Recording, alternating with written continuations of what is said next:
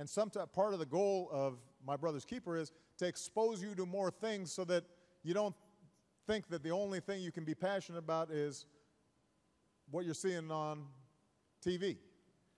And part of the problem with young men of color is oftentimes the only thing they see to be passionate about is basketball or rap.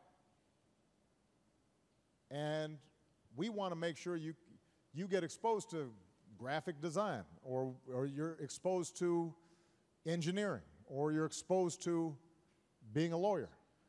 You know, sometimes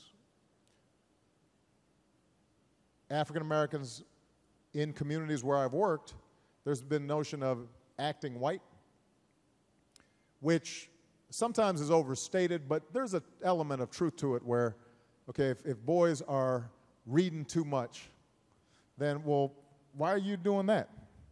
Or why, why are you, uh, why are you speaking so properly? And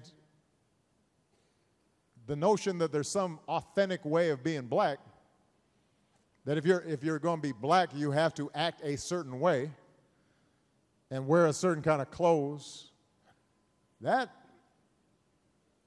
you know, that has to go because there, because there are a whole bunch of different ways for African American men to be authentic.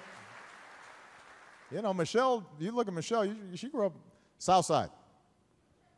And her mom still lives in, in a neighborhood where gunshots go off, and it, it, it can be rough in, in uh, where Michelle grew up.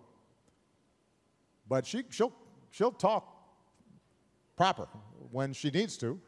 Now, you also don't want to get on her wrong side because she can translate that into a different vernacular. Uh, but, but my point is, is that you don't have to act a certain way to be authentic.